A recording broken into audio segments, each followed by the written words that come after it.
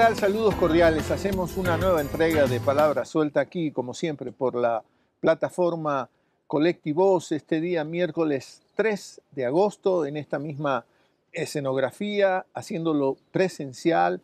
Es, un, es una propuesta que nos hemos planteado porque, porque claro, eh, de todas maneras es imagen y sonido y hay que intentar llevarle a usted las mejores condiciones eh, posibles.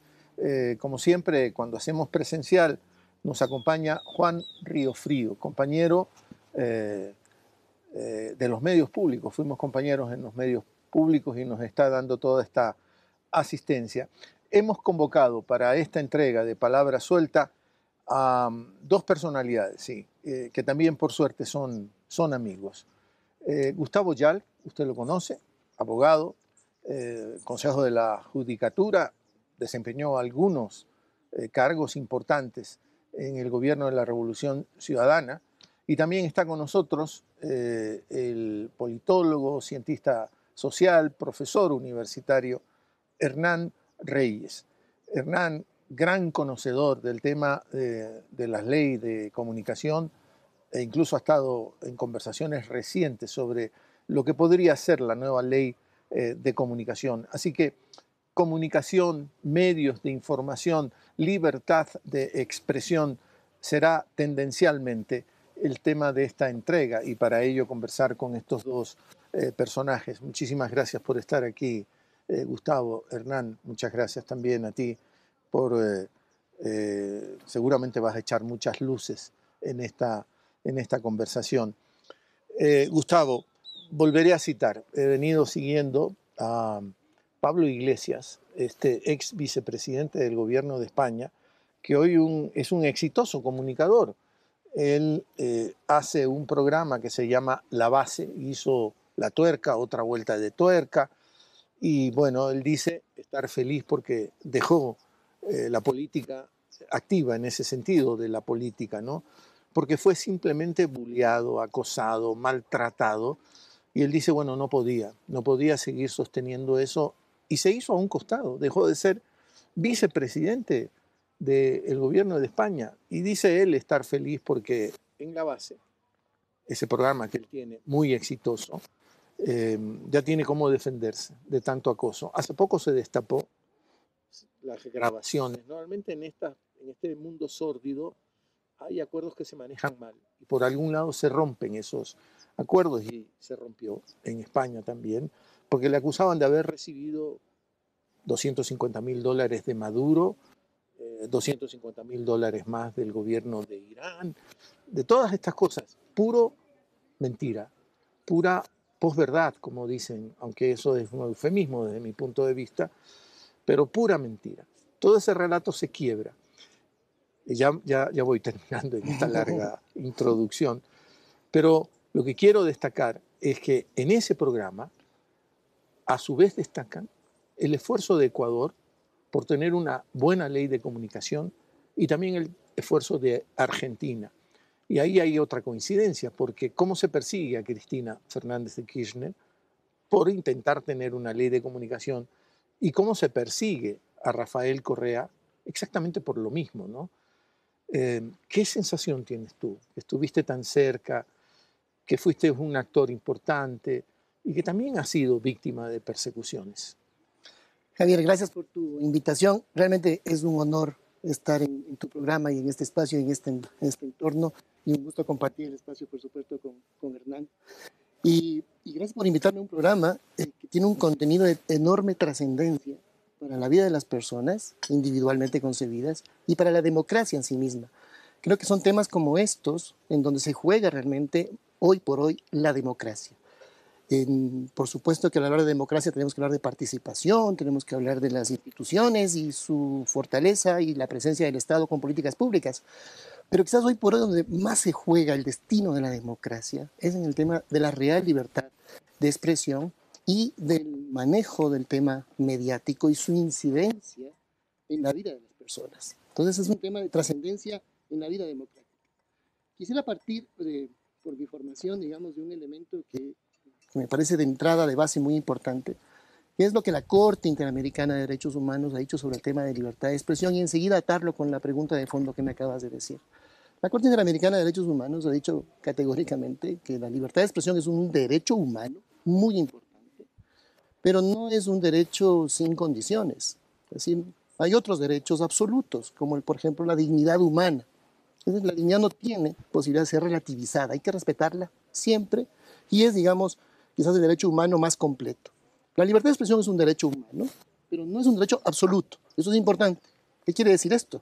que puede estar sujeto a regulaciones y que tiene que estar sujeto a regulaciones, porque esa libertad de expresión que tiene que ser garantizada integralmente no puede afectar otros derechos, como cuál, como otro derecho humano, el debido proceso, por ejemplo, que es un derecho humano que no puedes ni siquiera suspenderlo en condiciones de estados de excepción. Derecho humano siempre tienes que respetarlo, el debido proceso. Entonces, es un derecho fundamental. Y algo también importante que la Corte dice, que hay que distinguir lo que es la libertad de expresión de lo que es el derecho al acceso a información verificada y de calidad a los ciudadanos. Son dos derechos que a veces se quieren confundir y que son distintos, muy relacionados, pero uno es mi derecho a la libertad de expresión, de opinar libremente, sin restricciones, en la medida que no afecte otros derechos, porque, insisto, no es un derecho absoluto. Y el derecho que tienen todos los ciudadanos, no solo de expresarse, sino de recibir información de calidad. ¿Por qué?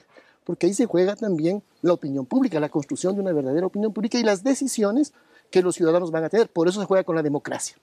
Voy al punto que me planteas, lo que ahora en España se está debatiendo tanto esto que salen a la luz estos audios, que se han denominado también la revelación de las cloacas mediáticas, que significan una acción concertada de varios poderes, el poder mediático, cierta parte de ah, funcionarios de la policía, eh, alguna ministra, incluso involucrada eventualmente en estos elementos, para hacer una acción política. El deporte, porque uno de los personajes de todo este embrollo es Florentino, Florentino Pérez, el presidente del Real Madrid. Correcto. Millonario a través de los negocios de bienes raíces, qué sé yo, pero parece ser que él controla mucho de esto.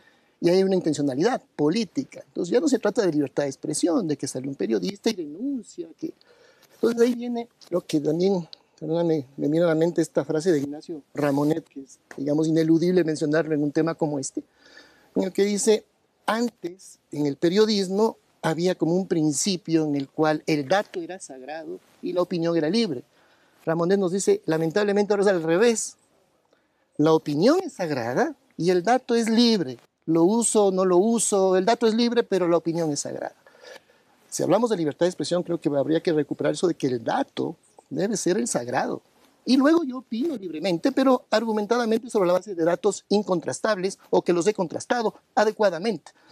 Pero si sale una publicación en la que se le acusa a alguien de un financiamiento ilegal, como el caso de Pablo Iglesias, sin ninguna contrastación real, y además luego se revela que es realmente una confabulación, de una acción concertada de varios poderes con el objetivo de hacer daño político.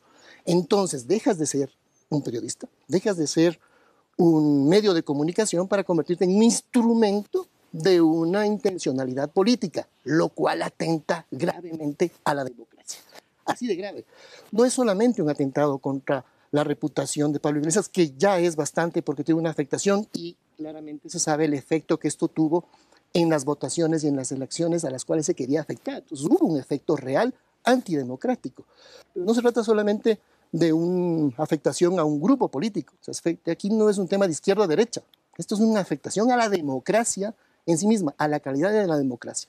Por lo tanto, siguiendo justamente los principios que la Corte Interamericana de Derechos Humanos ha establecido, si queremos una democracia sólida y real, necesitamos garantizar libertad de expresión, pero entendiéndola como un derecho que no es absoluto, que debe estar regida por principios, por reglas, por rendición de cuentas. Más aún, cuando los mismos medios de comunicación se autodenominan cuarto poder.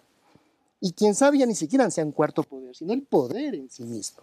Y todo poder tiene que rendir cuentas para no caer en la arbitrariedad.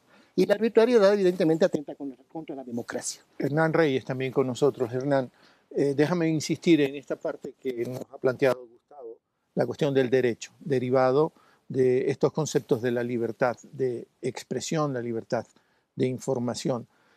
¿te parece que los derechos de mayor eh, énfasis o los nuevos derechos que podrían surgir en cada una de nuestras sociedades derivan precisamente del derecho a la información, del derecho a la libertad de expresión, que entonces están en juego los derechos humanos de la más reciente generación. ¿Te parece que extrapolo exageradamente o es posible hacer ese ejercicio? Seguramente sí. Primero, déjame agradecerte, Javier, por estar acá y compartir con Gustavo también esta, este espacio de, reflexión sobre un tema que, digo, y ya lo dijo Gustavo también, es un tema directamente relacionado con la democracia, inherentemente relacionado con el eh, desarrollo y la profundización de sociedades democráticas. No puede haber sociedades democráticas sin una ciudadanía bien informada. No puede haber sociedades democráticas eh, donde finalmente se censure la capacidad que tenemos los seres humanos y el derecho que tenemos los seres humanos a expresarnos libremente. Y cuando hablo de seres humanos, hablo de todos. No hablo simplemente de los periodistas, no hablo simplemente de los medios de comunicación.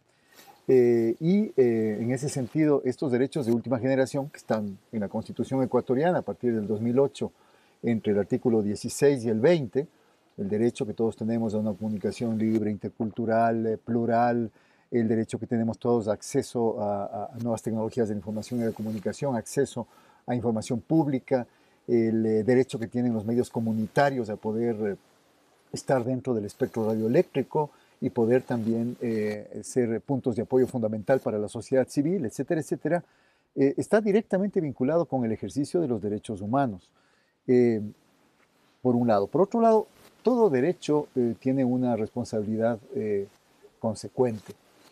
Eh, tenemos derecho a expresarnos libremente, pero asimismo somos responsables de lo que decimos cuando nos expresamos libremente. Y esto eh, vale tanto para los contenidos informativos, lo que hace normalmente el periodismo, cuál ha sido la trayectoria histórica del periodismo, tanto como para la opinión.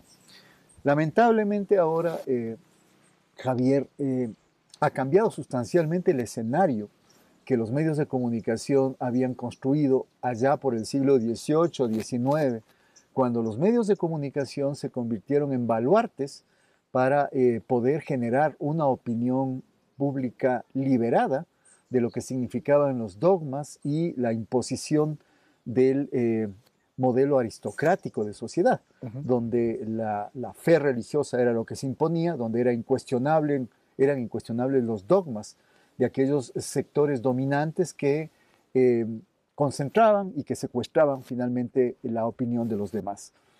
De allá acá, eh, hacia acá ha corrido mucha agua bajo el puente y eh, se dio un fenómeno que es consustancial al, desarrollo del modelo capitalista, que es el fenómeno de la mercantilización de la información.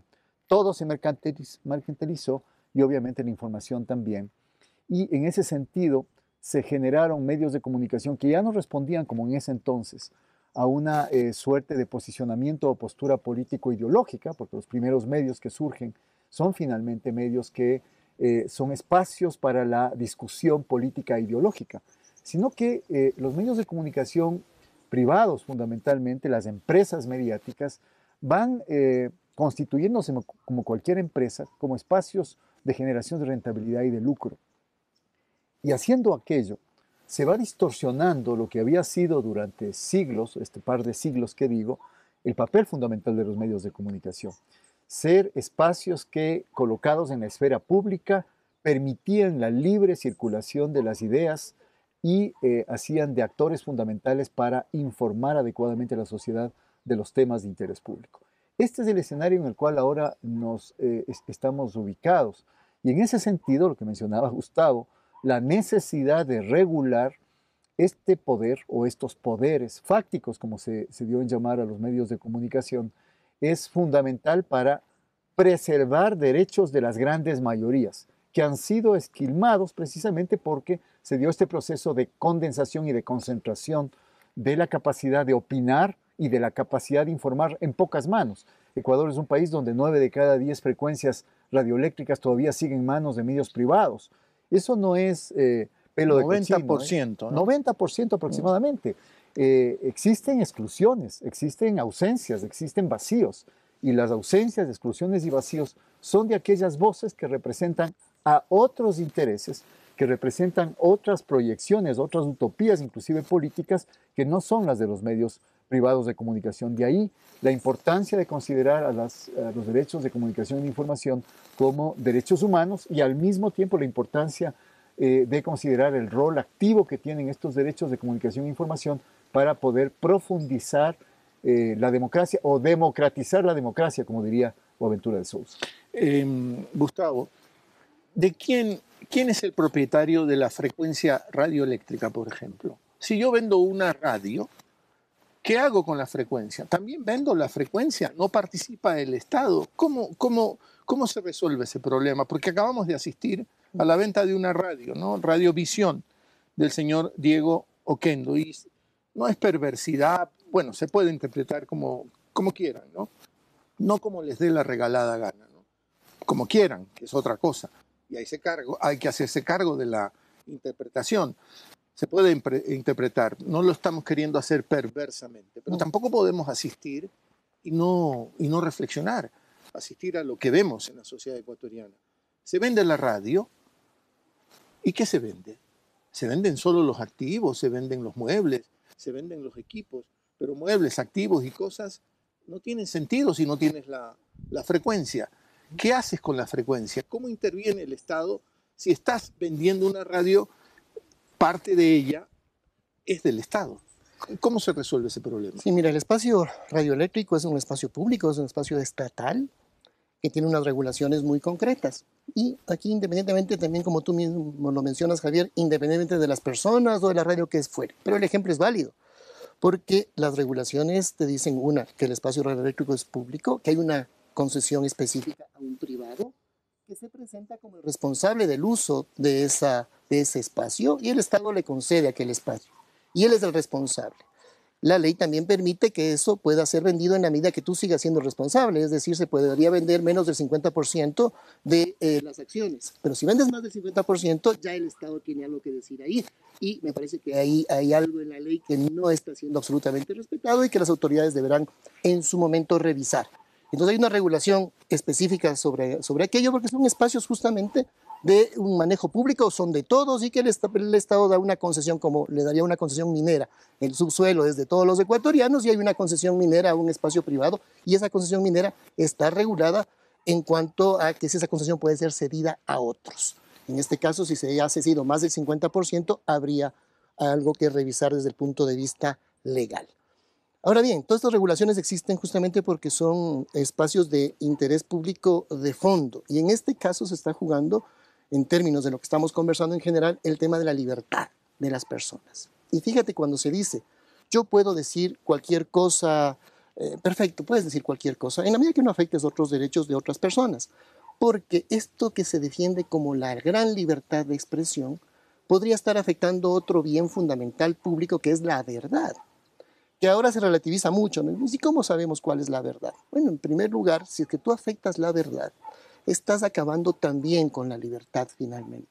Entonces es un tema que se da la vuelta. Tú por pretender defender la libertad de expresión a ultranza y como un bien absoluto, acabas matando la verdad y acabas matando la propia libertad. Porque no tienes libertad en el momento que tú no accedes a una información de calidad. Y dígate que este tema, ya lo decía Albert Camus, este filósofo francés en 1944. Tempranamente decía, los grandes medios de comunicación privilegian la rapidez, en ese momento era el problema, la rapidez a la precisión. Y al matar la precisión por la rapidez, acabas afectando y destruyendo la verdad. Privilegio la, la velocidad a la veracidad. A la veracidad. Que era un poco el contraeslogan que queríamos levantar en los medios públicos. Aquí privilegiamos, privilegiamos la veracidad y entonces el problema del rating, quién llega primero, quién tiene la primicia, quién la da esa noticia primero, era un, tema secundario que no se quería entender, ¿no? Porque vivíamos en ese contexto, ¿no?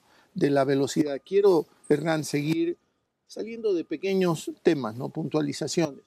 Porque también por estos días hemos asistido a un comportamiento de un periodista también harto conocido, Carlos Vera, que estando frente al presidente de la Asamblea, el señor eh, Virgilio Saquicela, presidente de la Asamblea, le hace una pregunta sobre la ley de comunicación, que probablemente se va a debatir. Bueno, tú sabes bastante de esto y tienes clarito y luego vamos a hablar de eso.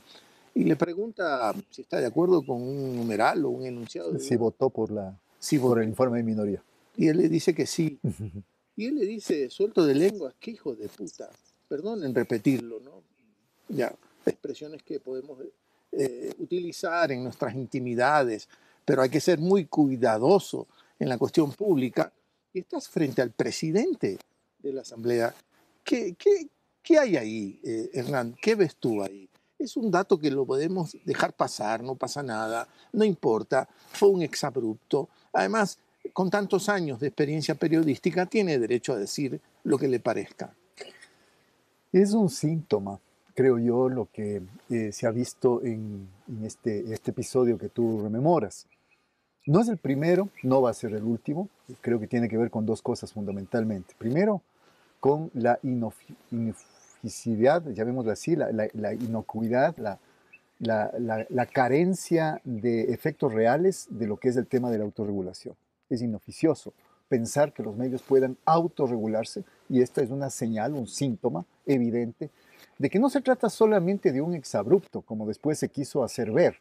Lo mismo eh, eh, fue el pseudo argumento que manejó eh, la posta cuando eh, en su debut y despedida en un medio incautado eh, salió con un programa, su primer programa, donde eh, agredió de manera abierta a través de una palabra, la palabra cabrón, ya que estamos aquí en un espacio de, de apertura, eh, hay que decirlo, porque esa fue la palabra que apareció.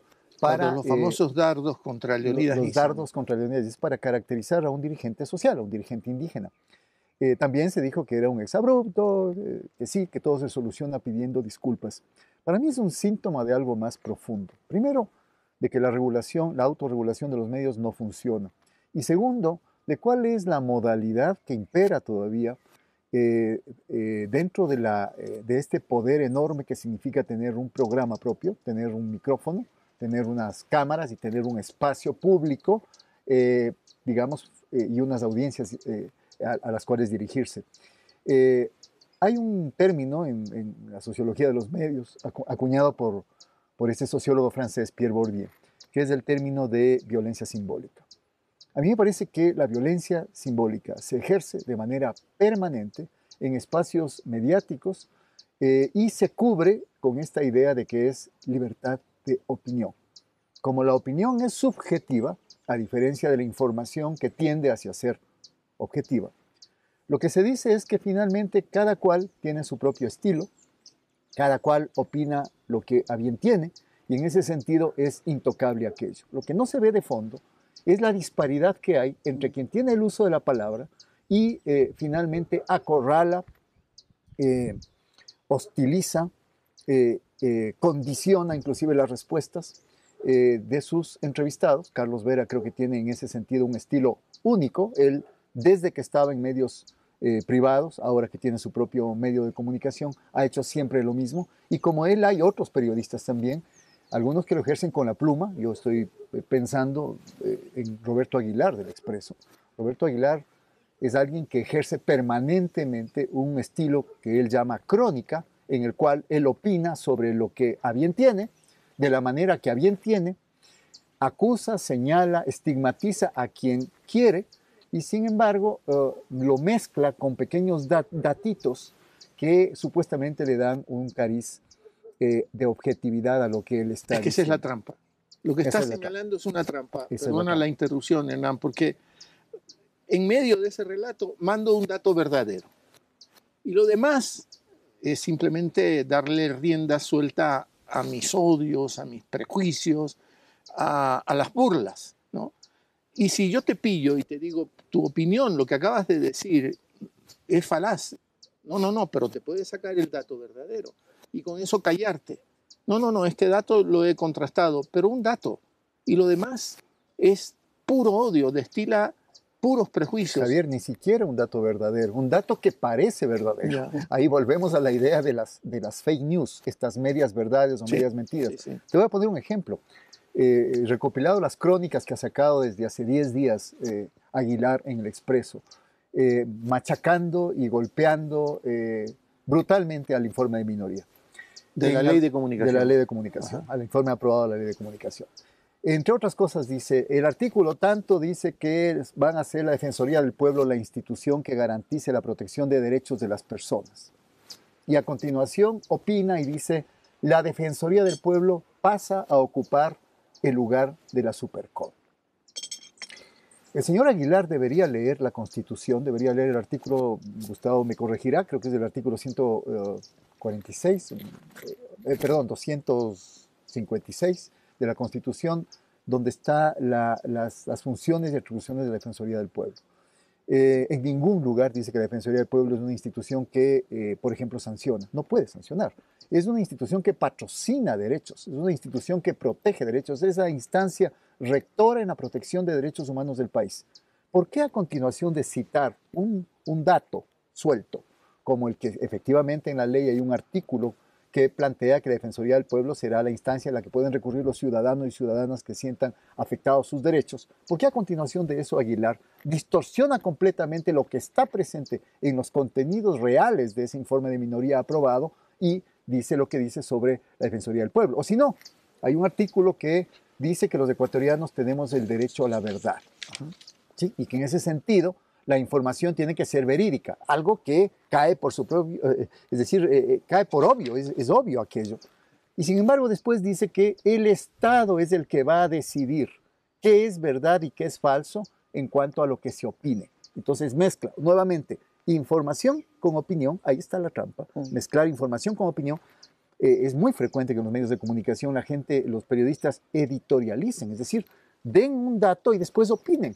Eh, cuando en realidad eh, creo que los ecuatorianos nos merecemos, y esa era la intención, ¿no es cierto?, de la ley orgánica de comunicación. Cuando se clasifican contenidos, cuando yo prendo la televisión y veo un informativo, pues yo quiero ver noticias. Las noticias son información. Y cuando haya comentario o opinión, que aparezca ahí bajo el crédito de que esto es un comentario, esto es una opinión personal del periodista y con eso yo ya sé lo que es información de lo que es opinión. Eso no se hace en los medios de comunicación y personas como Roberto Aguilar, que en este caso ha sido uno de los, eh, está endiosado como el gran periodista que finalmente defiende el derecho a la libertad de expresión y el derecho a opinar libremente, está distorsionando los hechos en sus famosas crónicas en Diario Expreso. Toda ley, Gustavo, necesita mecanismos administrativos. Eso es innegable, ¿no es cierto? Eh, no podemos lanzar una ley, tú ya lo decías, no tiene una ley como la ley de comunicación, no es absoluta y es más, necesita cómo administrarse esa ley. Y nos están queriendo convencer que no es necesario nada de eso, que la dejemos suelta a la ley de comunicación, que no regulemos nada, más bien que desregulemos, que eso es lo mejor que le puede pasar a una sociedad. ¿A qué nos están llevando? Ese es el tema de fondo, ese tema de la autorregulación, de un poder, de un tremendo poder, que ya ni siquiera es el cuarto poder, sino es el poder en sí mismo, sobre todo en las condiciones en las que está el Ecuador en este momento. Entonces, un poder sin regulación es antidemocrático. Solo déjame hacer un apunte sobre lo que se mencionaba de ese eh, exabrupto o insulto directamente que en, en, esa entrevista al presidente de la Asamblea Nacional se realizó la me parece que es en el caso Ulloa versus Costa Rica que la Corte Interamericana de Derechos Humanos expresamente dice que el comportamiento soez no está sujeto a ninguna protección y que debe ser responsabilizado. El comportamiento soez no es libertad de expresión, así lo dice la Corte Interamericana de Derechos Humanos, no lo digo yo, estoy seguro que es en el caso Ulloa versus Costa Rica que se topó ese tema. Segundo, el tema de la autorregulación. Si nos parece muy bien la autorregulación de un poder, entonces deberíamos decir que el Poder Ejecutivo podría decir que desaparezca la Contraloría, que desaparezca el Poder Judicial. Yo me voy a autorregular. Nos parecería absurdo, ¿no es cierto? Si decimos que los jueces deban resolver en función de lo que, a ellos les parece, no, en función de la ley, sino de sus intereses personales, de sus odios, pasa, ¿no? Pero nos parecería absurdo, nos parecería absurdo institucionalizar aquello, que se autorregulen los jueces, que no, que no resuelvan en función de las pruebas, que no argumenten sus decisiones, sino que resuelvan como quieran. Sería una autorregulación de los jueces. Eso mismo pasa si creemos que la autorregulación mediática debe ser así. Es el mismo absurdo, sino que se lo quiere matizar bajo este tema de la autorregulación que nos va a garantizar una verdadera libertad de expresión sin tomar en cuenta los grandes desequilibrios para acceder a esa información.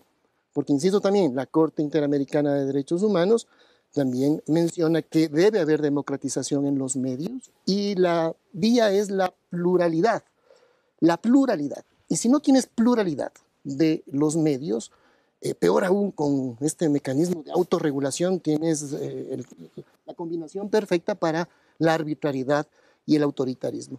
Y eso de la autorregulación me, recuerda que la, comparación me parece, me parece pertinente, como cuando los grandes latifundistas se oponían a cualquier reforma agraria para democratizar el acceso a la tierra. Se oponían a eso. Es lo mismo, los grandes latifundios, sobre todo los grandes medios, los grandes latifundios mediáticos se oponen a cualquier regulación. Su aspiración es regulación cero, que la Constitución así no lo establece, que la misma Corte Interamericana de Derechos Humanos en sus decisiones no está diciendo que la libertad de expresión es regulación cero, sobre todo de los grandes medios de comunicación, porque lo que busca es que haya democracia, es decir, que haya acceso, que haya derecho a una información de calidad y a la rectificación pertinente y a la responsabilidad ulterior. Todo esto garantizando el mayor y mejor nivel de libertad, de libertad de expresión. Pero la libertad no puede matar la libertad. El rato que la libertad significa el manejo tendencioso, instrumentalizado de hechos verdaderos o falsos con una intencionalidad política, estás matando la verdad y por lo tanto estás matando la libertad. Queremos defender la libertad, necesitamos reglas que nos garanticen igualdad. Si no hay igualdad, no hay democracia. Y, si hay reglas, Gustavo, hay sanciones. Claro, es la responsabilidad ulterior, claro. que es propia de la libertad. Yo ejerzo mi libertad con las consecuencias positivas y negativas que ese ejercicio significa si yo afecto los derechos de otros. Los conceptos son absolutamente básicos. Si yo ejerzo mi libertad, puedo opinar, sin duda. Primero, si soy riguroso, debería hacerlo en función de, datos reales, verificados, contrastados, y hacer la diferenciación, como decía Hernán, de que estos son los hechos y lo que yo pienso sobre esos hechos. Pero si yo estoy manipulando estos hechos y soy selectivo en esos, en esos hechos, estoy haciéndolo quizás con una intencionalidad. Y una reflexión final sobre ese punto, Javier, si me permites. Porque, a ver, todos somos selectivos a la hora de recoger información. Por una u otra razón recogemos una u otros. Es natural el poder recoger esa, esa información. Ahora bien, si yo soy riguroso a la hora de recoger la información, la contrasto, no afecto a la calidad. Si tengo rigor, recojo, y si tengo rigor, no afecto la calidad. Pero si soy selectivo y no riguroso, ya afecto a la calidad de la información final. Pero si adicionalmente soy selectivo de manera intencionada, ya estoy afectando no solo la calidad, sino la ética. Pero si además soy selectivo a la hora de seleccionar datos y además los manipulo con una intencionalidad política, ya no solo estoy afectando la calidad, la ética, sino que estoy afectando también la democracia. Em, el perrito nos ha venido a añadir un, elemento más en la, decoración. Parecemos como romanos, ¿no? Que también tenían sus banquetes rodeados de, perritos. No comían en unas mesas, se echaban en unas, en unas literas, en unas, en unas camas. Eh, no es esa la intención. Rigor, contraste, veracidad, eh, es, son elementos claves y tú los conoces muy bien. Otra cosa que conoces muy bien y que estuviste trabajando muchos años en eso es el famoso, la famosa repartición de los tercios. ¿no?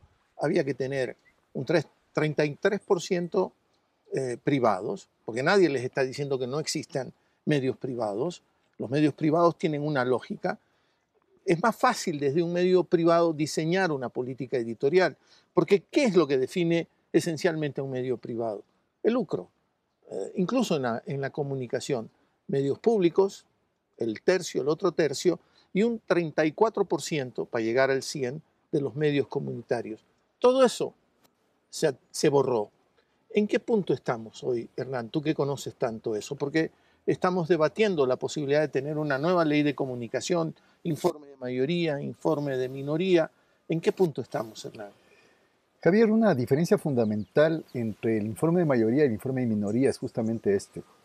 El informe de mayoría lo que plantea básicamente es separar lo que es o lo que son los derechos de la libertad de expresión, de comunicación, de información, y lo que son las otras acciones eh, y proyecciones que permitan democratizar la comunicación en el país. Por eso es que eh, finalmente se excluye todo el tema de frecuencias, en el informe de mayoría, se excluye el tema de la distribución equitativa y justa de la publicidad y la propaganda oficial hacia todos los medios y prácticamente se deja como una cosa retórica las acciones afirmativas eh, para eh, que se vayan creando cada vez más medios comunitarios y se vaya equilibrando de alguna manera este, este espectro radioeléctrico sobre la base de este horizonte de tres tercios. en ese sentido, la ley del el, informe de minoría aprobado, en estas reformas, lo que plantean es esa visión integral. No puede haber defensa real de derechos ciudadanos de la información y la comunicación si no hay un real proceso de democratización en el uso del espectro radioeléctrico, si es que no hay eh, un apoyo decidido del Estado hacia la creación de medios comunitarios, eh, hacia eh, el mantenimiento y la conservación de los medios públicos, sobre todo de carácter ciudadano. Y en este sentido, creo que vale la pena inclusive separar la idea de que debe haber medios públicos de carácter oficial, yo, soy un convencido de eso, que son las voces, digamos, eh, de las instancias públicas, de, las instancias estatales, que tienen el pleno derecho también a informar a la ciudadanía, pero debe haber también medios públicos de carácter ciudadano, que fue lo que se intentó hacer justamente desde el 2007 con la radio pública, con eh, Ecuador TV, con eh, la agencia Andes, que ahora ya no existe desde hace mucho rato, y que lo que intentaba hacer es precisamente no competir con esos contenidos eh, de farándula, de escandalización, de espectacularización, etcétera, que son los que dan réditos de alguna manera a los medios privados, sino más bien de eh, llenar esos contenidos formativos, educativos y culturales, que son los contenidos que deben predominar, según la propia Constitución, en eh, los medios de comunicación del país. Ahí te hago una digresión, por, por, tú participaste en ese, en, esa, en ese esfuerzo también, de alguna u otra manera, eh, incluso dirigiste programas de, opinión, em, fue muy perverso, ¿no? Estuve, otra vez, disculpas por hablar desde, desde la primera persona, estuve metido ahí en eso eh, y fueron muy perversos. Porque en poquito tiempo ya querían que los medios públicos tengan definida definido perfectamente su política editorial, cuando es una construcción muy compleja, muy difícil, Ecuador no conocía de la existencia de medios públicos y teníamos problemas, evidentemente que sí. Había que definir cómo nos regulábamos. Claro, esta relación con el Poder Ejecutivo era también muy, muy compleja, ¿no? Porque ¿quién financiaba a los medios públicos? El Poder Ejecutivo. Porque si poníamos una ley en el Ecuador como en Inglaterra, por cada televisor que compras pagas un adicional para que financies a la BBC, de Londres. Eso haces en el Ecuador y te incendian a, los medios públicos. No había, no había claridad en los mecanismos de financiación. Encontrar ese mecanismo de financiación no era de la noche a la mañana, era una construcción que se estaba haciendo, así que no puedo hacer una defensa de que ya teníamos política editorial. ¿Cuántos años tienen Ecoavisa, Teleamazonas? ¿Cuántos años tiene el comercio, el universo? ¿En cuántos años ellos han intentado definir una política editorial que por otro lado no la comparten con las audiencias. Ahí hubo mucha perversidad, Hernán. Absolutamente. Eh, yo creo que los medios públicos fueron un proyecto importante que quedó trunco, que, fue, que, finalmente eh, eh, quedó fallido. Y quedó fallido porque el proceso de desmantelamiento de los medios públicos que empezó Lenin Moreno, al haber prácticamente liquidado ya a Ecuador TV, a y el inefable señor Andrés Michelena, ¿no? El señor Andrés Michelena, que nadie sabe dónde está este momento, hizo su trabajo sucio y finalmente salió del país y creo que está, eh, debe estar feliz disfrutando de las mieles de, eh, de las mieles del poder, de algún tipo de poder en algún otro lado. Pero eh, sí, efectivamente fue un proceso complejo se le exigió demasiado a los medios públicos, pero Javier, acuérdate, a los medios públicos cuando recién iban a salir al aire, los medios privados hicieron también una campaña enorme en contra de los medios públicos porque venían a ser en cierta medida competencia. Lo que más a, los medios privados, a los medios comerciales les asusta es que hayan medios que compitan con ellos en cuanto a lo que ellos defienden tanto, su credibilidad, el relato, ¿no? el relato, ¿no es cierto?, de lo que es la realidad. En ese sentido, fue complejo el proceso porque y, a ti te constará, también hubo presiones indebidas de parte del gobierno central. Lo que tú mencionabas, esta idea de que el Estado eh, da el presupuesto, hace las transferencias, le mantiene al medio público, y había funcionarios públicos, ministros de gobierno o ciertas autoridades que se creían, con derecho de pegar una llamada y decir, me entrevistan a mí, me entrevisten a tal persona, topemos tal tema, es decir, de prácticamente marcar política editorial cuando un medio público debe tener independencia editorial del gobierno de turno.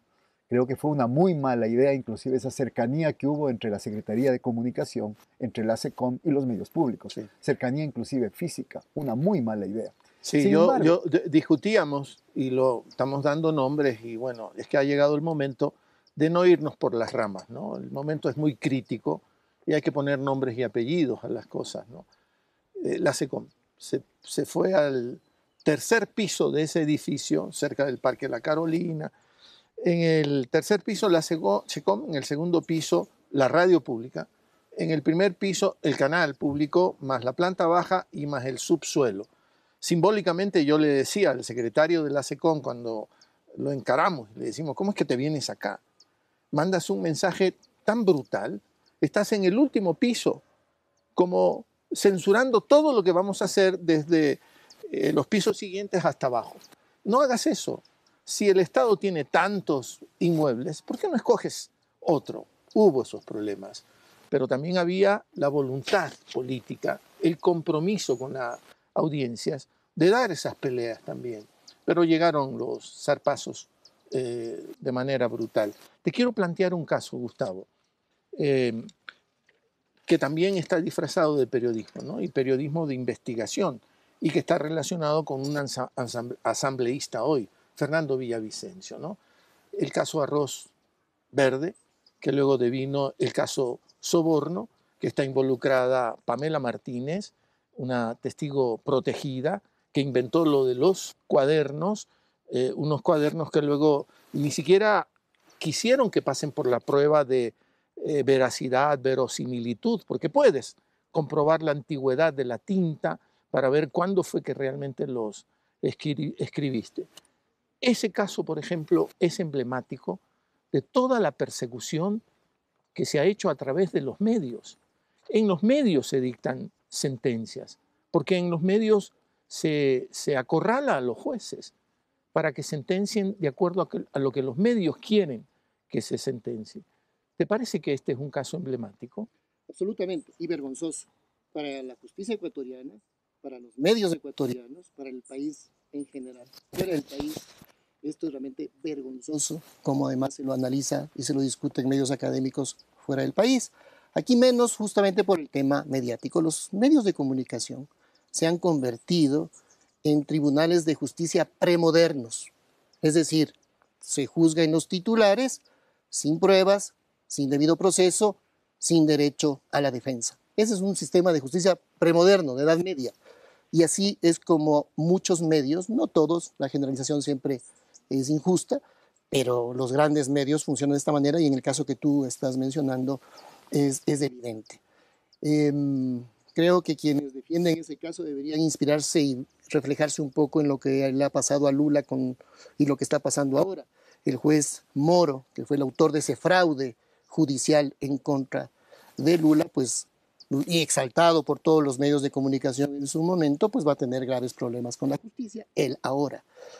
Y Lula, por supuesto, que se ha mantenido evidentemente pero, pero en el problema. Pero el daño producido con eso es irreparable, no tiene reparación. No, tiene reparación, son, son días, años, meses de vida de las personas y lo que se ha buscado es destruir la reputación de las personas y ahí es donde se ve como los medios eh, que no funcionan para, eh, de acuerdo a hechos, transmitirlos a las personas y diferenciar su opinión, sino que funcionan como un instrumento político. Entonces, al ser un instrumento político de una guerra ideológica, entonces permiten cualquier cosa. El fin justifica los medios, ese mínimo ético ya no existe más. El fin justifica los medios y no importa usar a la justicia, usar los medios con tal de destruir a una persona o a una tendencia política sea cual fuera, de izquierda, de derecha, esto es destruir la democracia. Y es lo que realmente polariza a la sociedad. Porque si nada, el correísmo polarizó a la sociedad, la revolución ciudadana polarizó a la sociedad, no. Lo que ha polarizado a la sociedad es la instrumentalización de la justicia y lo que ha polarizado a la sociedad es la instrumentalización de los medios de comunicación. Entonces, los políticos de posición débil dicen, unámonos contra el otro porque el único objetivo es que el otro nos llegue. Nada más nos une. Entonces, ¿quién polarizó? Los, los que se unieron para, con el único objetivo de que el otro no llegue, que esa postura no llegue. ¿Por qué? Porque afecta a mis intereses latifundistas mediáticos, porque afecta a mis intereses de corporación económica. Entonces, todos nos unimos bajo esto. Y la gente dice, no, para no tener problemas con los medios de comunicación, ah, eh, te van a decir correísta. Ah, entonces me voy a hacer al grupo de los llamados anticorreístas, que en el fondo lo que los une son intereses o simplemente esta visión de que el otro no sea. Eso es lo que polariza la sociedad y eso es lo que también acaba destruyendo la democracia. Han tenido a los medios para poder hacer todo eso, pero en el caso concreto ecuatoriano, y eso lo conociste muy bien tú y muy de cerca, tuvieron una instancia anterior, el inefable también, Julio César Trujillo. Ya no está entre nosotros, es una pena. Borges decía que no hay nada como la muerte para mejorar a la, a la gente. Él lo decía de manera mucho, mucho más compleja y mucho, mucho más bella, ¿no? Pero el doctor Trujillo dejó armado el tablero, porque también era necesario, por ejemplo, eh, tener una fiscalía como la que hoy tenemos, para poder hacer las persecuciones que hoy se siguen haciendo, ¿no? Y ahí quedamos inermes. No, no tuvimos armas para poder defendernos de eso. No, eso fue un tsunami político institucional que destruyó todas las instituciones del país. Yo lo denuncié en su momento y quería estar equivocado, lamentablemente no fue así. Pero recuerda, Javier y Hernán, cuando el doctor Trujillo dijo, suelto de huesos, em, que sus mandatos estaban por encima de la Constitución. Lo dijo suelto de huesos en un medio de comunicación, con el aplauso de los medios, los grandes medios de comunicación, que dijeron, sí, sí, esto hay que hacer. Eh, para silencio de la academia y de los constitucionalistas, que muchos desfilan y siguen desfilando por los grandes medios, que nada dijeron cuando Trujillo ya se levantó y en eso fue honesto, porque dijo, mis mandatos están por encima de la Constitución, se cargó todas las instituciones y luego el efecto, más allá de los efectos personales que cada uno pudo haber eh, sufrido eh, desde el punto de vista de, este, de esta avalancha mediática, más allá de eso, realmente destruyeron al país, las instituciones.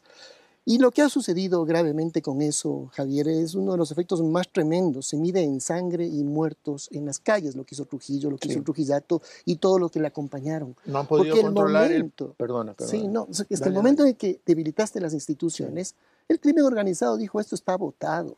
Y entonces empezaron justamente a desarrollar todo lo que hoy día vemos en un incremento de los homicidios, el más brutal de la historia del Ecuador. No han podido controlar la crisis carcelaria, por ejemplo, ¿no? por la destrucción institucional. Un espacio que está bajo la responsabilidad del Estado, un espacio en cuatro paredes, donde el Estado es el responsable y ni siquiera puede estar ahí. Y la Comisión Interamericana de Derechos Humanos en febrero pasado les dijo en un informe, dentro de las cárceles hay un autogobierno. Esto es vergonzoso. Está diciendo al gobierno ecuatoriano, ustedes no son gobierno, ¿eh? Allá dentro de las cárceles que está bajo su responsabilidad, hay un autogobierno. Son ellos los que ponen las reglas, las leyes. Por lo tanto, ahí no hay Estado.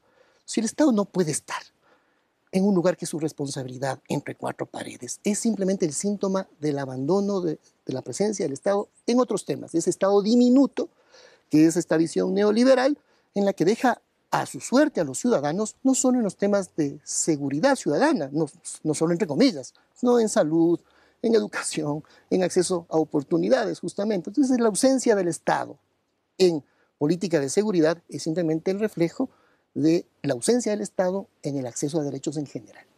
Eh, Hernán, eh, Gustavo nos habló de eh, este, esta situación premoderna, ¿no? Eh, yo te quiero llevar a una situación moderna, pero desde el punto de vista de la tecnología, ¿no? Esta clasificación que es más rigurosa desde las ciencias sociales, desde la cultura, la antropología, de eso sabes tú también muchísimo. Pero esta situación moderna desde la tecnología nos ha traído lo de las redes, por ejemplo, ¿no? Y en las redes también se ha mezclado mucho, ¿no? Eh, alguien decía, alguien le escuchaba, a un dirigente deportivo le escuchaba, las redes son como tener a 100.000 personas en un espacio enorme y cada quien diciendo lo suyo. Y lo que hay es muchísimo ruido y no hay una forma de entender qué es lo que están queriendo decirnos. ¿no? Las redes se han sumado y muchas veces desde las redes empieza el lawfare. Basta que salga un datito, que un medio formal del conglomerado mediático tome el dato y te fregaste. Porque ahí empieza la persecución, el lawfare, esta guerra mediática. Y nos decimos, ¿qué hacemos con las redes? Es complejo, ¿no? Porque ahí hay un problema de jurisdicción. ¿En dónde están los famosos trolls? Porque no puede ser que no estén en Ecuador. Están en la India, por decir algo, un país, con todo el respeto, ¿no? un país que al, que respetamos profundamente. Están en la India y usan una tecnología que ni siquiera la entendemos. ¿Qué hacemos en ese mundo, Hernán? ¿Qué te has planteado tú? Casi, casi estamos hablando de lo que se podría denominar la sociedad posmoderna, que a ratos está vinculada con la sociedad de la posverdad, la sociedad inclusive de la emocionalidad. Las redes sociales, eh, aunque no se crea, porque tienen una especie de halo de libertad completa, como cada uno de nosotros tenemos un celular, podemos eh, ser usuarios de cualquier red, Facebook, eh, Twitter, Instagram, TikTok o lo que sea, y podemos decir a cualquier momento del día lo que queramos, existe este mito de que las redes sociales son la expresión máxima y la expresión casi absoluta de la libertad de expresión. Yo difiero mucho de esa idea. Me parece que las redes sociales, primero, están secuestradas empresarialmente también. Ya vimos hace, hace, no mucho toda esta pugna que tiene que ver más bien con eh, estrategias eh, empresariales para disminuir el precio de las acciones y después comprar más barato. El de Tesla Elon, hizo Elon Musk, Elon Musk. Eh, lo plantea con respecto a... Quería comprar Twitter, ¿no? Exactamente. No hablamos de, de una cifra irrisoria. Hablamos de 44 mil millones de dólares, que es lo que valdría esa red social. La acusa de que tiene muchos, eh, muchas cuentas eh, falsas y eh, para el, el, proceso de, de compra-venta, cuando ya estaba palabreado todo para, para hacérselo caen las acciones de Twitter y ahorita están en una disputa judicial. Bueno, en Estados Unidos parece que eso es bastante común cuando se trata de estas cantidades astronómicas de dinero. Pero ahí la pregunta también, Hernán, es qué hace un señor que se había caracterizado por tener empresas altamente tecnológicas, los autos, esto que ni, sé qué ni sé cuánto, ¿por qué siente la necesidad de comprarse una red? Porque en este momento las redes sociales son eh, un espacio eh, privilegiado inclusive para las relaciones mercantiles. Para se me parece, se me parece, Hernán, disculpa las interrupciones, a la época en que los banqueros necesitaban comprarse medios, ¿no? Un poco así, ¿no? Protegerme mi negocio porque voy a tener un medio de información. Por supuesto, y además porque las redes sociales y las plataformas, ahora se habla de capitalismo de plataformas, son las que permiten la rotación más rápida y acelerada del capital hoy en día. Si tú te fijas cuáles son, según la revista Forbes, eh, cuáles son las 10 fortunas más grandes del mundo, entre las 10 estarán siquiera 5 fortunas vinculadas con la industria informática y con la propiedad de las eh, redes sociales.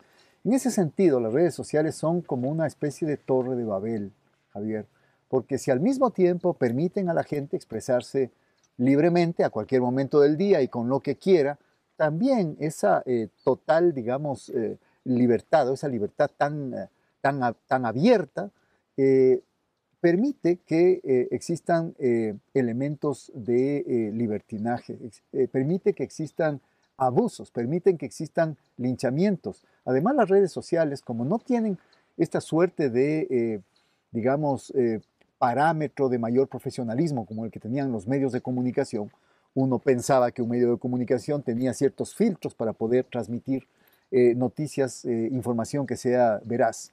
Las redes sociales no pasa eso. Es decir, una persona puede informar de cualquier cosa eh, en cualquier momento y no hay ningún filtro que le diga que no. Y los filtros que supuestamente existen no funcionan.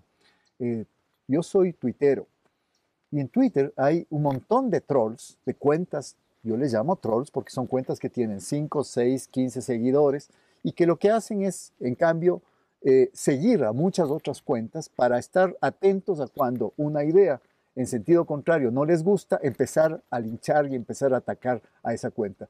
Yo he denunciado a muchas cuentas de troll y a mí las respuestas que me vienen de los administradores de, de Twitter es que no se encontró suficiente evidencia de que esté eh, de que sea ofensivo, de que esté acosando selectivamente a otras personas, etcétera, cuando es lo más común que hay en Twitter todo el tiempo. Pero tú le quieres explicar a la gente qué es un troll.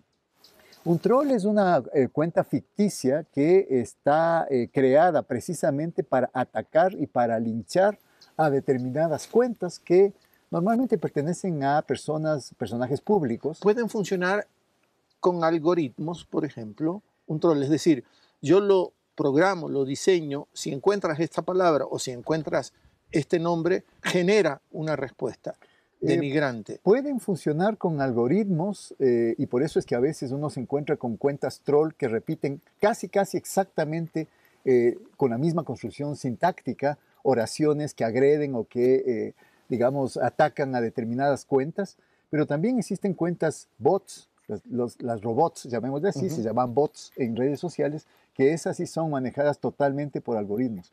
Y en ese sentido, la inteligencia artificial, el desarrollo tecnológico, para volver al inicio de tu pregunta, al mismo tiempo que ha abierto un espacio increíble que era impensable hace, hace 30 años, las redes sociales, ha convertido a estas redes sociales también en un espacio de albañal, un espacio de cloaca. Las redes sociales son extremadamente hostiles, son extremadamente violentas.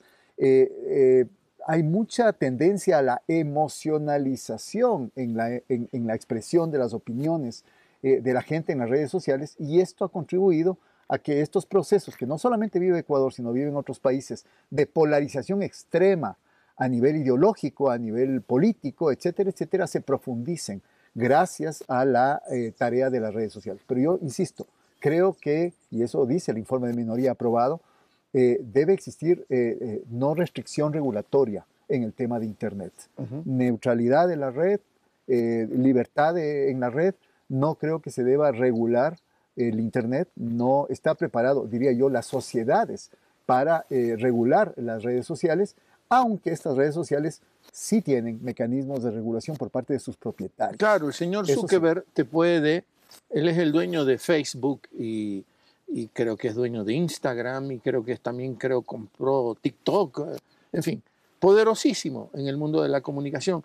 Él sí puede, en cambio, decir, eh, Hernán Reyes ha violado en Facebook lo que nosotros ponemos como condición y te bajan. Claro que sí, pero sería mucho más grave regular redes sociales porque en algunos casos en ciertas sociedades, en, ciertas, en ciertas coyunturas, son las redes sociales el único espacio público donde la gente puede expresarse cuando un Estado, por ejemplo, de carácter totalitario, eh, quiera controlar, quiera censurar y quiera amordazar a los medios tradicionales, digamos, o a los medios alternativos, y la gente todavía le queda estas redes sociales, aunque en determinadas sociedades, inclusive el Internet puede ser cortado, las redes sociales pueden ser bloqueadas por parte de, este tipo de estados. Es complejo, ¿no? Porque, por ejemplo, hoy mismo, eh, Gustavo, está en Taiwán la señora Nancy eh, Pelosi, ¿no? de Estados Unidos, y claro, eso suscita una reacción inmediatamente de China, ¿no? Entonces, eh, ya hay opiniones que dicen, bueno, China pone al borde de la hecatombe al planeta entero, ¿no? Como cuando Rusia tiene el conflicto con, con Ucrania, ¿no? Eh, los europeos o muchos de los europeos hablan de la invasión de Rusia a Ucrania. Eh, entonces uno dice, bueno, ¿a dónde me voy para ver qué mismo ha pasado? ¿Es una invasión? Eh, ¿Cuáles son las provocaciones? ¿Qué hubo no provocaciones previas? ¿Qué hacemos? ¿Qué haces tú? Si, si, si, si los medios son el reino del más poderoso, que empieza a ser el relato, ¿Qué haces tú, por ejemplo? ¿Tú cómo te defiendes frente a eso para tomar eh, una idea más clara, para no eh, sumarte a lo que te está diciendo el medio? Mira, el gran desafío ahí es tratar de discernir, de discernir lo que está ocurriendo en función de hechos, en función de datos objetivos y medibles. Bueno, se dice que hay tres tipos de cerebros. Los cerebros que disciernen, los cerebros que entienden lo que otros cerebros disciernen, me quiero ubicar en esos dos con esfuerzo, pero quiero ubicarme ahí, y hay un tercer cerebro que es el que ni discierne ni entiende lo que otros cerebros disciernen. Y lamentablemente, esta frase se me venía a mí a la cabeza cuando evaluaba a ciertos personeros del gobierno actual que siempre dicen la culpa es de Correa. Decía, es que es este tercer tipo de cerebro que nos gobierna, que ni discierne la realidad, ni entiende lo que otros cerebros disciernen, que siempre le echan la culpa allá atrás. Viendo a tu pregunta, te diría que hay que tratar de discernir y entender lo que otros disciernen con mayor información, pero esos que disciernen deben hacerlo sobre la base de hechos objetivos y reales. En temas tan complejos como la invasión antijurídica a la Unión, a, Ucrania, porque es una agresión. Esto a la luz de las normas jurídicas es una agresión. Pero evidentemente no nos podemos quedar ahí si queremos entender toda una globalidad de la problemática y saber si es que esto se pudo evitar. Que lo importante de una guerra, luego de la Segunda Guerra Mundial, es evitarla. Es el desafío de Naciones Unidas, ese es el desafío, se entiende, de todas las organizaciones internacionales, evitar conflagraciones. Entonces, cuando se producen, quiere decir que algo falló en la prevención, que es lo más importante, prevenir las guerras. Entonces, no solamente, entre comillas siempre, solamente, decir, ah, esto es una agresión, que lo es, contra todo principio de derecho internacional, a invadir a un Estado eh, soberano. Pero previamente hay todo un análisis de cómo no se pudo prevenir esto. Y creo que es simplista, aunque pueda haber parte de verdad. Decir, ah, el autoritarismo de Putin, que curiosamente algunos dicen, ah, el comunismo, si Putin no es comunista. No tiene nada de izquierda Putin. Pero algunos reducen a eso. ¿no? Es lo más conservador, y, pero reducen ahí el análisis. O los expansionismos de, de, Putin, que también puede haber. Eh, resurgir un poco con la Unión Soviética, que lo ha dicho. Pero primero de izquierda, absolutamente nada, pero se reduce a eso. Pero quizás es más que eso incluso. Es una agresión, jurídicamente es una agresión. Hay eh, ánimos de, expansionismo, de crecimiento, de recuperación de lo que significó la Unión Soviética, puede ser también. Pero hay todo un aspecto de fracaso de la prevención de la política internacional y todos los avances que la OTAN también tiene como una agenda. En algunos casos puede ser agenda oculta también. Entonces el análisis tiene que ser mucho más amplio y hay los medios de comunicación, en lugar de convertirse en arfiles de una posición, lo que deberían hacer es tratar de que el ciudadano pueda entender mejor un problema con un montón de aristas para que lo disierna bien o que pueda entender lo que otros disciernen. Es, complejo. Es muy complejo. Pero ese es el desafío de los medios de comunicación democráticos. Claro, pero los medios de información han devenido eh, eh, guardianes, escudos, protección de todos estos otros poderes, ¿no? Estos poderes fácticos, ¿no? del bloqueo pasan al blindaje con una sencillez increíble, ¿no? ¿Cómo lo hacen? ¿Cómo, cómo son tan elásticos? Y, insisto, su, meta clara es eh, la cero regulación, la autorregulación. Claro, también la forma en la que en América Latina en general se desarrollaron los que ahora son los grandes medios de comunicación es distinto a lo que pasó también en Europa. En Europa fueron principalmente medios públicos. Fíjate que en, Francia, donde tuve la ocasión de estudiar, eh, fue en 1982 que se crearon medios privados, fue François Mitterrand, que abrió lo, la posibilidad de tener medios a las empresas privadas en 1982 apenas. Antes eran todas eran públicas. Aquí en América Latina fue al revés. Fueron empresarios que se pusieron medios de comunicación, banqueros que se pusieron medios de comunicación. Y esto ya de entrada tiene un origen nefasto, porque eso hace que esté condicionado al dueño, lo que debería significar la posibilidad de que la ciudadanía esté debidamente informada con, con datos independientes del interés económico de quien es propietario. Quizás ahora lo que podamos aspirar como mínimo es a que aquellos medios que se autocalifican como independientes, y yo creo que eso ya es publicidad engañosa de entrada, pues que develen su posición política. Creo que de entrada eso sería interesante hacerlo. Dejar la publicidad engañosa y decir yo soy medio independiente, que no lo soy, respondo a unos intereses económicos, responda un gobierno específico que lo digan de tal manera. Al menos en las redes hay más diversidad, hay mayor diversidad. Creo que esa es una parte adecuada. Pero cuando en los grandes medios, que tienen una misma línea, todos se unen a los medios públicos, esto ya es la fórmula del desastre. Y eh, en los, cuando tienes un gobierno más progresista que no responde a estos latifundios mediáticos, algo se trata de equilibrar pero estoy de acuerdo con la crítica que se ha hecho hace un instante. Los medios públicos deben ir más allá de responder solamente a una agenda eh, oficial del gobierno de turno, sino realmente ser hasta medios comunitarios que permitan el acceso a los ciudadanos en general a dar su opinión libremente y a un acceso a información objetiva. La clave es cómo se financian, ¿no? Ese es uno de los elementos claves para los medios públicos y para los medios comunitarios, aunque en los medios comunitarios creo que la cuestión es menos menos difícil porque la propia comunidad puede concurrir para financiar a ese medio. Lo mismo a ti, Hernán, vamos cerrando este encuentro, eh, que deberíamos de hacer todos los días, reflexiones sobre la cuestión mediática, porque ahí se está jugando la verdadera libertad, la verdadera democracia, eh, cómo nos defendemos, qué vamos a hacer en el, en el futuro. Eh, vamos a estar inermes, nos van a seguir atacando, nos van a decir lo que les dé la gana y, y no tenemos cómo, cómo defendernos.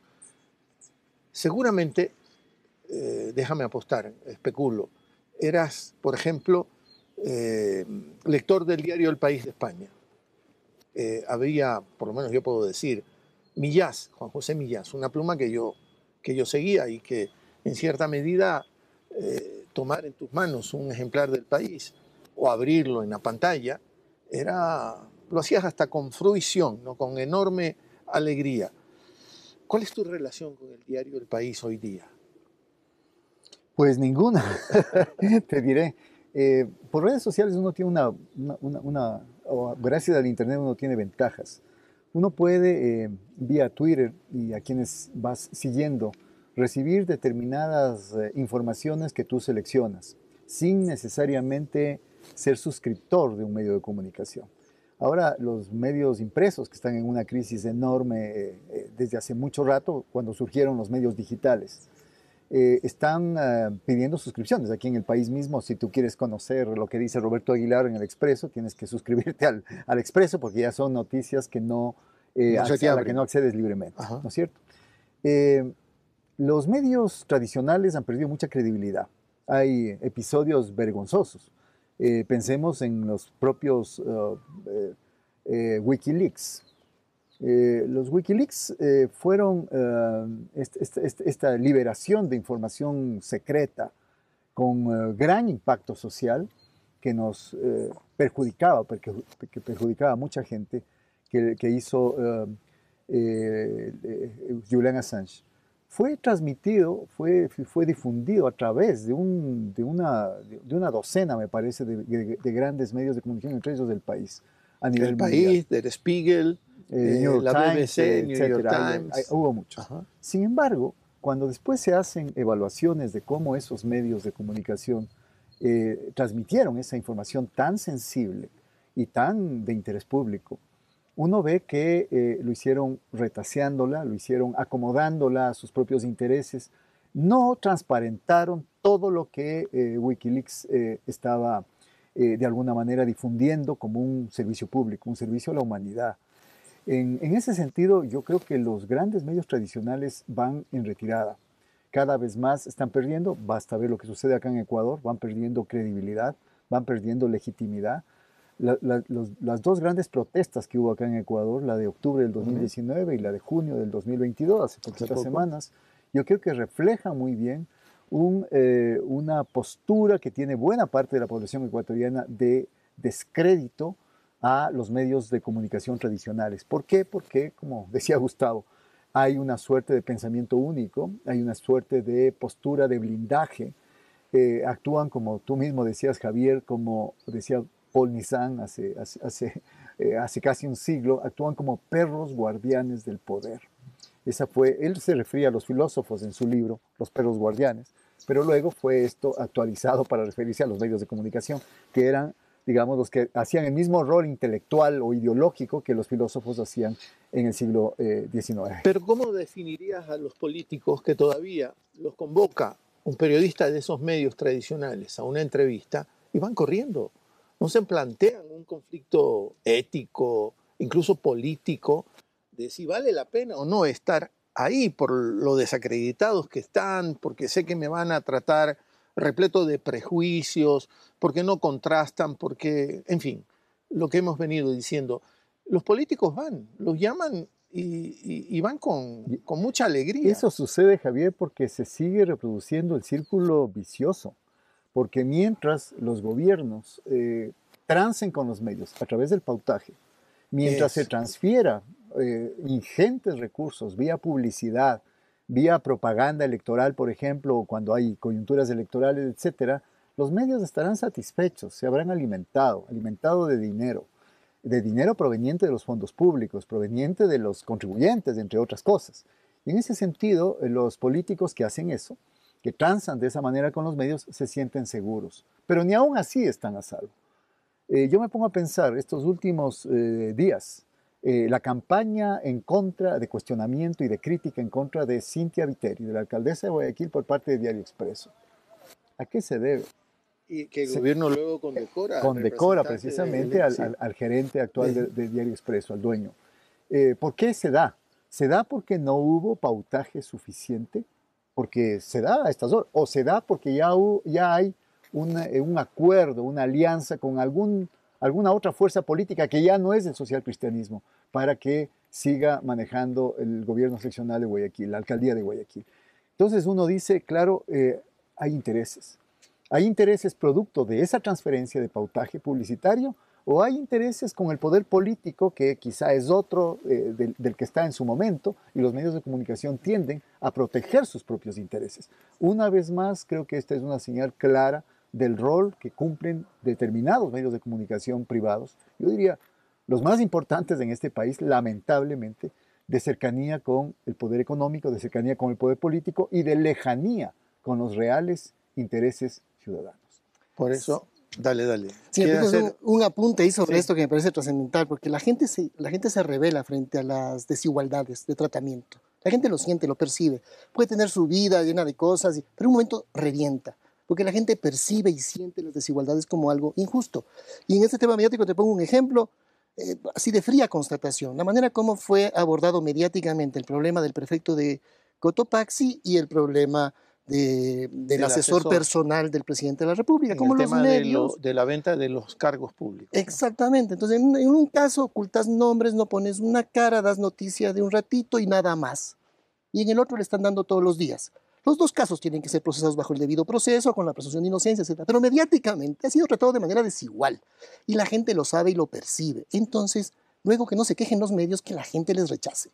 Sí, sí. Eh, eh, es muy grave, pero también empiezo a ver eh, pequeñas señales un poco raras, Hernán. Por ejemplo, en el diario El Universo hace un par de días salió el dato de que Ecuador está entre los tres países más inseguros de la región. Es un dato que hay que preocuparse, ¿no? Y lo está diciendo un medio que blinda. ¿Por qué sueltan datos así? Digo, me pregunté, ¿no? Digo, eh, están haciendo un examen de seriedad periodística, están haciendo un ejercicio recuperando algo de, eso, de la seriedad periodística, o qué está pasando? Puede haber dos posibilidades, Javier. Una, que efectivamente, y no se puede tampoco meter a todos los periodistas que trabajan en los medios tradicionales en el mismo saco. Hay gente profesional, gente que de alguna manera actúa inteligente y a ratos valientemente dentro de un medio de comunicación y termina eh, finalmente logrando eh, eh, visibilizar aquello que es inocultable. Ecuador es un país absolutamente inseguro, eh, resulta difícil tapar el sol con un dedo. Cuando la situación se vuelve ya muy grave, el medio de comunicación, por más que quiera blindar, un rato determinado tiene que dar lugar a eh, una cierta eh, transparencia informativa. Esa es la una posibilidad. Pero otra posibilidad es que el medio de comunicación ira y afloja las riendas con el poder político.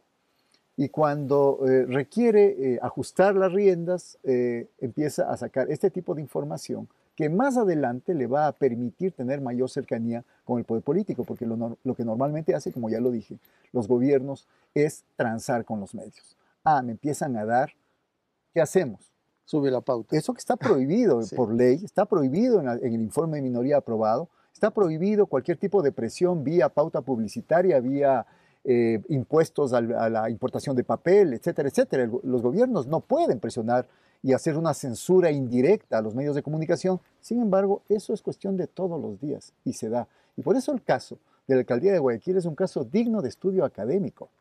¿Cuál es el momento de ruptura o, cuál es la finalidad última que tiene ese medio guayaquileño expreso para poderse poner en esta posición de cuestionamiento crítico, totalmente crítico, hacia la alcaldía de Guayaquil, ahora y no antes? ¿Qué hay detrás de eso? Yo no me creo que esto implica simplemente el ejercicio de un periodismo libre, objetivo, eh, de una investigación valiente, etcétera, etcétera. No me lo creo porque eh, todos los, todas las indagaciones, todos los datos que existen respecto a la actuación y al rol de los medios de comunicación, respecto al poder político en el país, aquí en el Ecuador, demuestran lo contrario. Hernán dice que no se lo cree. ¿Tú? Ah, a ver, yo creo que siempre hay una intencionalidad ahí, eh, que no es por generación espontánea, que que se han hecho estos elementos. Hay un accionar político. A ver, eh, los medios deben ser críticos, deben criticar al funcionario, deben criticar una gestión pasada o presente, la deben criticar. Eh, pero deben criticarla con hechos tangibles. Pero cuando la crítica tiene el objetivo de quitarte votos, ya soy un actor político. Entonces ya entré en el juego político, porque mi objetivo es eh, quitarte votos, quitar tu plataforma de votos y no que aclares tu posición, no que aclares tu gestión, sino quitarte votos. Entonces, cuando esto pasa, el medio de comunicación se ha convertido en un instrumento de un interés político específico. Así que, claro, si esto aparece justo en una coyuntura electoral, parece difícil que es el ejercicio libre crítico del medio, sino que se ha convertido en parte de una estrategia para socavar la base electoral de alguien tengo que autorregularme, ¿no? Porque podríamos quedarnos mucho tiempo más hablando de este tema que nos produce tantas angustias, que nos exige autoconvocarnos, ahí sí, para reflexionar sobre lo que está pasando en este elemento clave que determina la calidad de nuestra democracia, que defiende nuestros derechos humanos, que habla de nuestras libertades, pero no para unos poquitos, sino para todos. Muchísimas gracias, eh, Gustavo, muchísimas gracias, Hernán, por ayudarnos en esta conversación. Gustavo Yalc, Hernán Reyes, en este encuentro de palabra suelta. Nos despedimos, nos vamos. A usted siempre le agradecemos la compañía. Pásela bien.